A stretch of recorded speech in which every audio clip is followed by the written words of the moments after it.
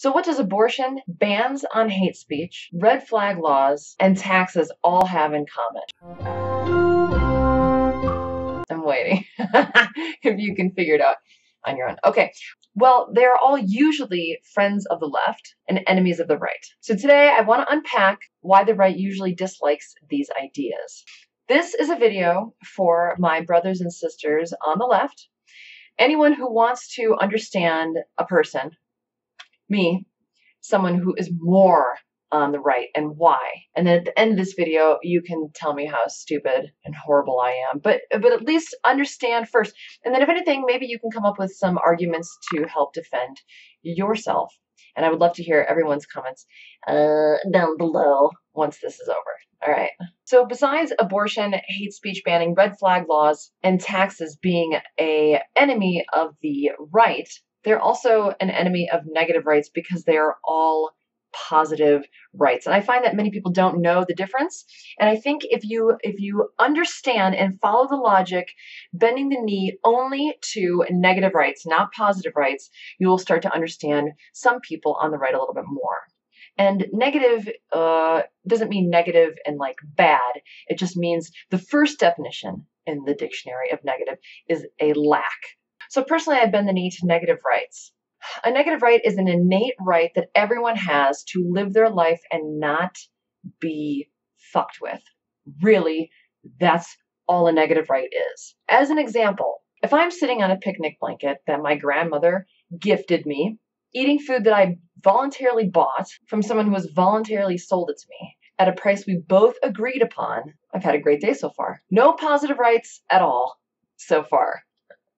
To maintain my great day, once I set up camp, I have a negative right that no one come up and steal my sandwich, or demand that I give it to them, or even demand that I sell it to them, even at a good price, even if they're really hungry. I have a negative right that no one come and throw dirt on my blanket, or in my eye, or on my sandwich. I have a negative right that no one shoot me, machete me, stab me, run me over, or choke me, or rape me. Leave me alone leave my blanket alone, leave my food alone, leave my property alone. And then that is a negative right. Reasonable, right? I think that's reasonable. I think most people listening to this be like, you know what? She seems like a reasonable girl. But sometimes I find that it's convenient to yeah but your way through life. I don't like yeah buts. I don't like loopholes.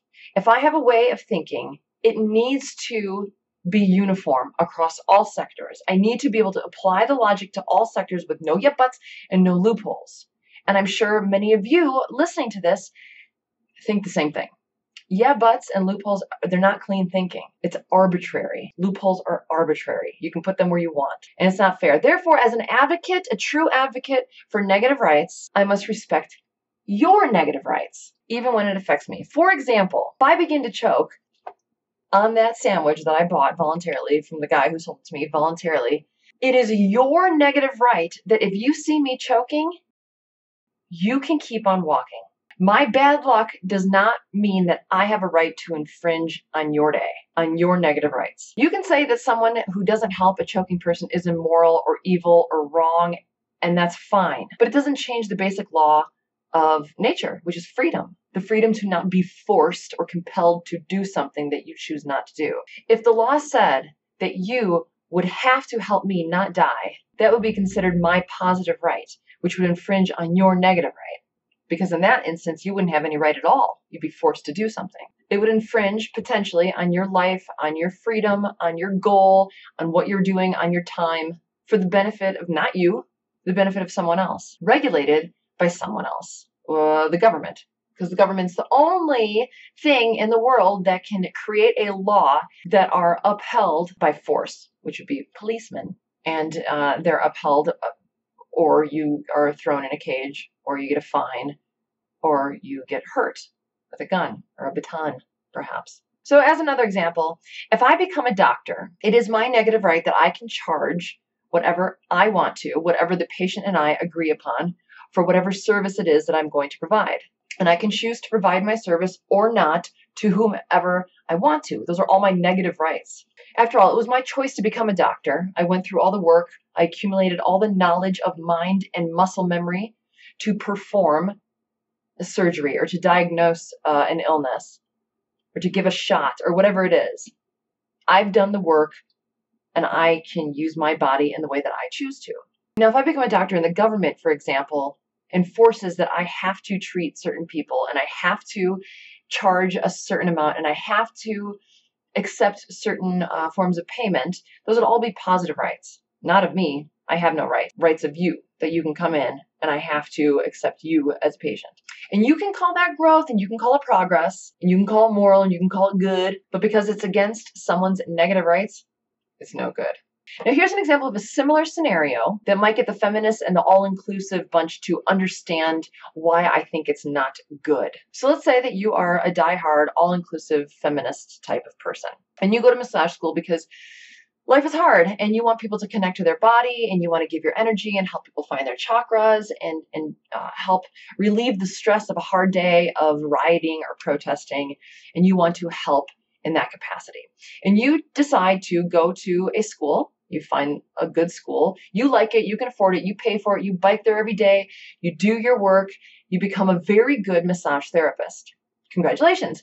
That's actually really awesome. After you graduate, you choose to apply for employment at a place that you think is good for you. It's a good match for you. And you are hired by someone who needs you to work for them and wants you to work for them.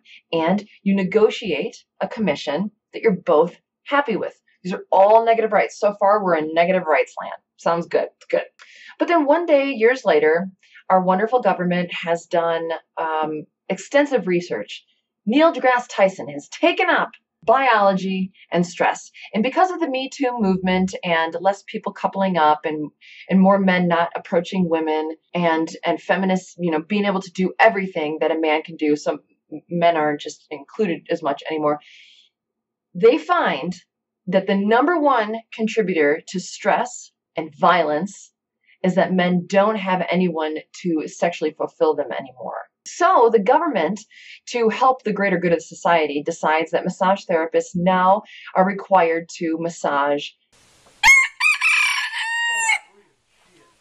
It's a big muscle. You're a massage therapist. It's stress relieving and it's for the greater good. So now you have to stroke and let's say that healthcare gets nationalized.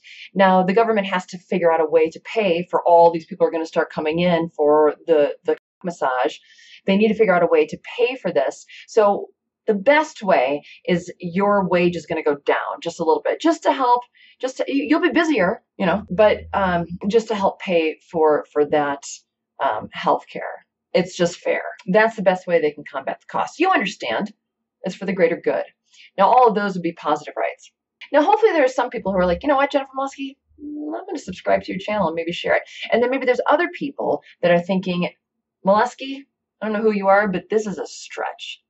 Because the stretch is what I really want to talk about today. The fact is that everything can be stretched, and it will be stretched.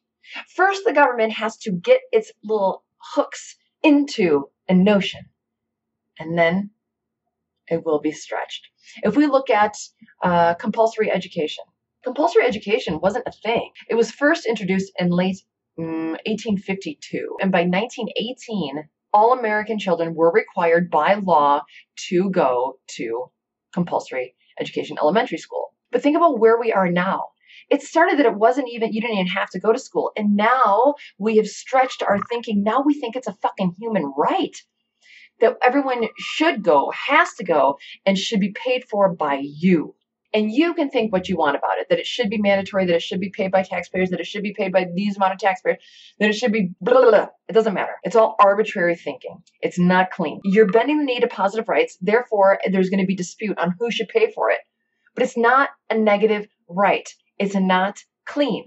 If we follow a clean line of thinking using negative rights, we'll be just fine.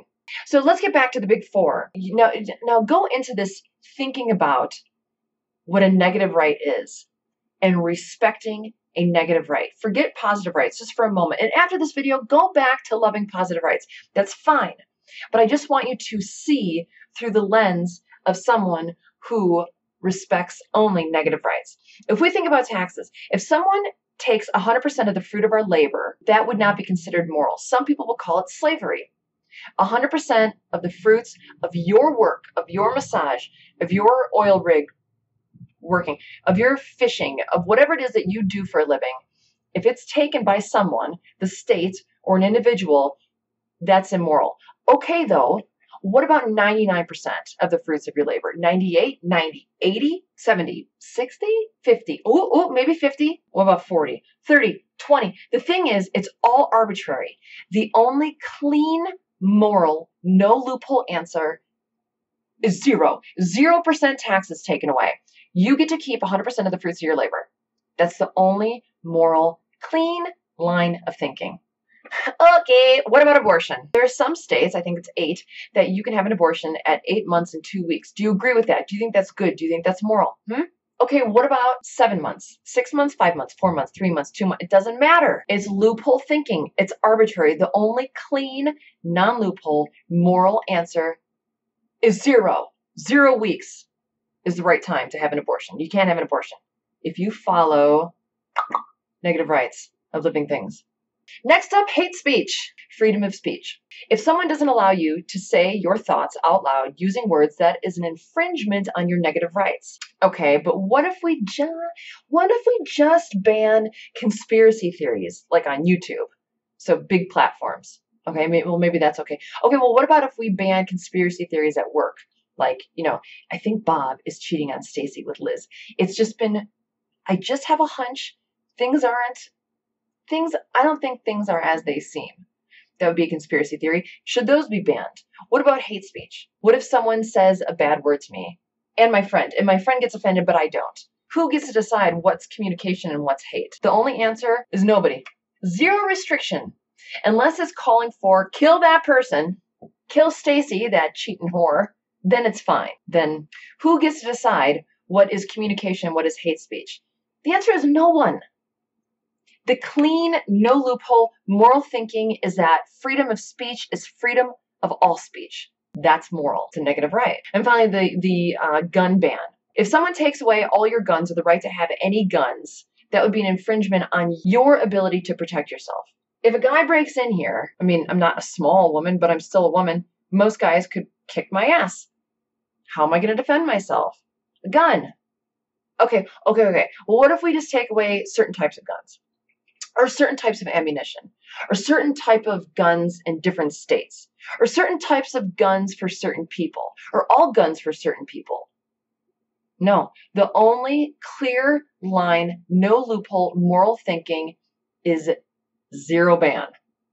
Everyone gets to defend themselves with whatever weapon they choose to buy from someone who sells it to them voluntarily at a price that is fair and uh, agreed upon by both sides so, ladies and gentlemen, that is what I believe in. I believe in negative rights.